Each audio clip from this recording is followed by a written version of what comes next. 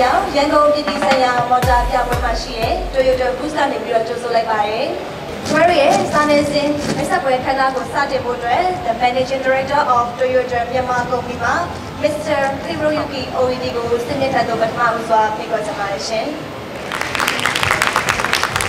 ဒီနေ့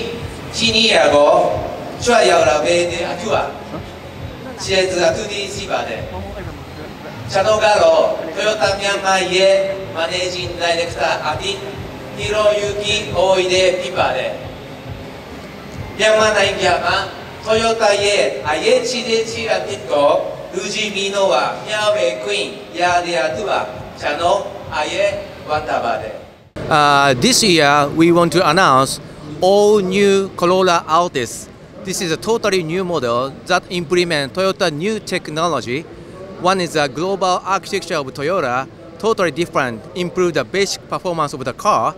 If you test drive the car, you can know how totally different from previous model and the new one.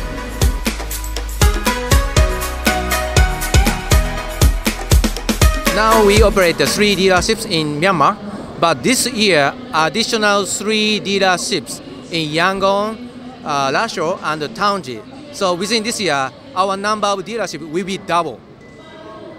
So we come to closer to you to deliver Toyota cars and services.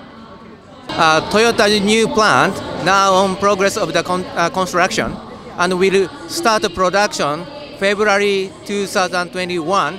So exactly one year after from today, we will start the production. And uh, new model, the production first production model is Hilux Rebel. Hilux Rebel, we believe, uh, best choice for the first production in Myanmar because Hilux can be utilized for work or for private lives, and it's toughness overcome any road condition in Myanmar. When I came to Myanmar, I realized many Toyota cars on the road, from old to new. Then I realized how Myanmar people loves Toyota. So therefore, my expectation to Myanmar people is please keep your love to us. But we promise to do our best to deliver better car to people of Myanmar. Uh, Olympic will start from end of July, and Toyota as official sponsor, we provide 3,700 car or transportation mobility unit to Olympic organization to support future mobility. For example, autonomous or EV or hybrid or hydrogen cars.